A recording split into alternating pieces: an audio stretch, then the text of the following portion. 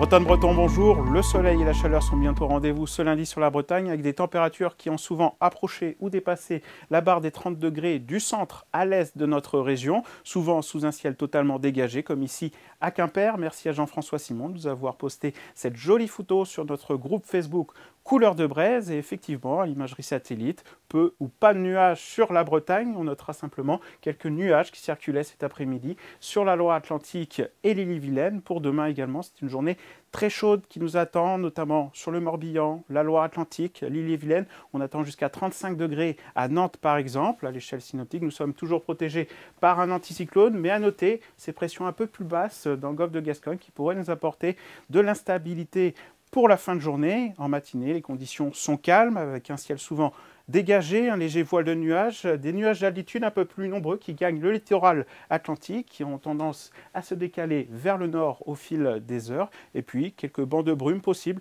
sur le Léon en tout début de matinée. Dans l'après-midi, c'est le soleil qui s'impose à nouveau, notamment sur le Finistère. À l'est, des nuages peuvent bourgeonner, notamment en seconde partie d'après-midi, et puis en soirée, la nuit suivante, il n'est pas exclu un orage isolé sur la Loire-Atlantique ainsi que sur l'est de l'île-et-Vilaine regarde la masse d'air avec des températures très chaudes sur le sud de la France ainsi que sur l'Espagne, qui gagne aussi notre région. En matinée, des températures déjà très douces. On pourrait vivre une nuit tropicale, c'est-à-dire des températures qui ne descendent pas en dessous de 20 degrés le long du littoral du Morbihan ainsi que sur la Loire-Atlantique. On n'attend pas moins de 21 degrés par exemple à Nantes et à Clisson. Le minimum est attendu à Châteaulin avec 14 degrés. Et puis dans l'après-midi, eh bien, toujours des températures très chaudes hein, du centre à l'est de la Bretagne. Sur l'est de la Bretagne, on attend 33 degrés à Rennes, 34 degrés à Vitré, jusqu'à 35 degrés à Nantes et à Clisson. C'est toujours plus respirable le long des côtes de la Manche avec 22 à 25 degrés.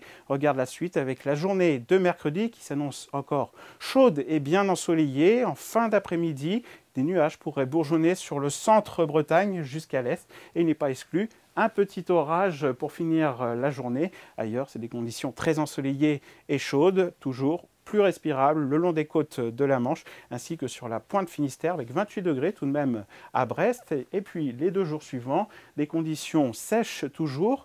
Jeudi, eh bien, un voile nuageux traversera la région, mais n'entachera pas l'impression de beau temps. Simplement un ciel laiteux par moment, des températures qui commencent à baisser, mais toujours très agréables. Vendredi également, une belle journée ensoleillée. Puis en fin de journée, des nuages plus nombreux gagneront le Finistère, prémisse d'une dégradation nuageuse et quelques gouttes pluie pour la journée de samedi. Des températures également plus tempérées pour le début du week-end. Très bonne soirée à tous. Kenavo